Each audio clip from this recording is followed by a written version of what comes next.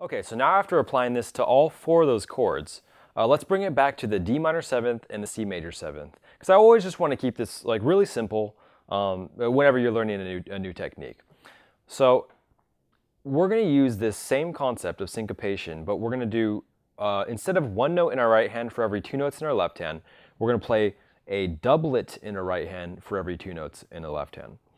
So uh, I'll just show you what this what this sounds like. So I'm just going to use in uh, C major, so D minor seventh and C major seventh, um, and I'm only going to do doublets uh, going up in the all white keys scale. So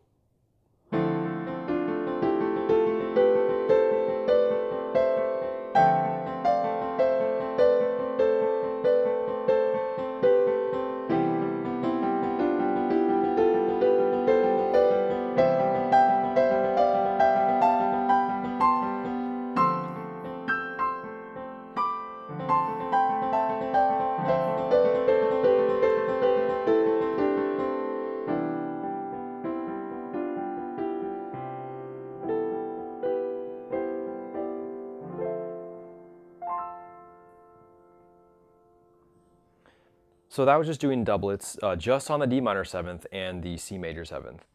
So, so now instead of doing one note, we're doing doublets. So I want you to just start on uh, really any notes in, in the all white keys scale. So we could start on something like D. So you'll play this D minor seventh with D and F, and you'll do this doublet and you'll just move it up in all white keys or down in all white keys as well.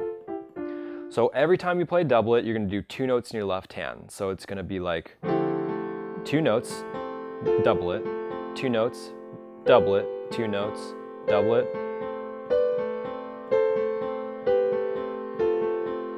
And then we're gonna apply the same like methodology that we used before with the eight beats in your right hand, and then you play the full chord again.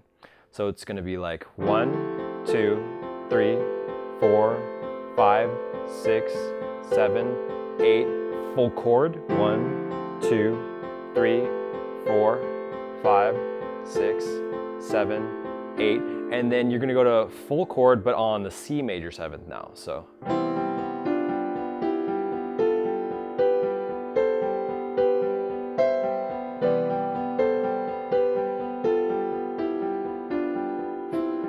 Eight,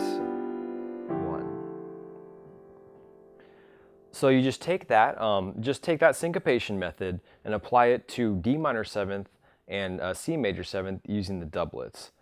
And then lastly, um, if you if you want to go one step further, you can use the doublets using the C pentatonic, uh, just like we did in uh, well, we've been using C pentatonic for a long time now. So uh, you know it's just C D E G A, and then you just take two of those notes, and then you play. Um, we're only using this as our scale, so the doublets are going to be from C and E to D and G to E and A to G and C, and you just keep going up in that C pentatonic without um, just skipping one note in, in the middle.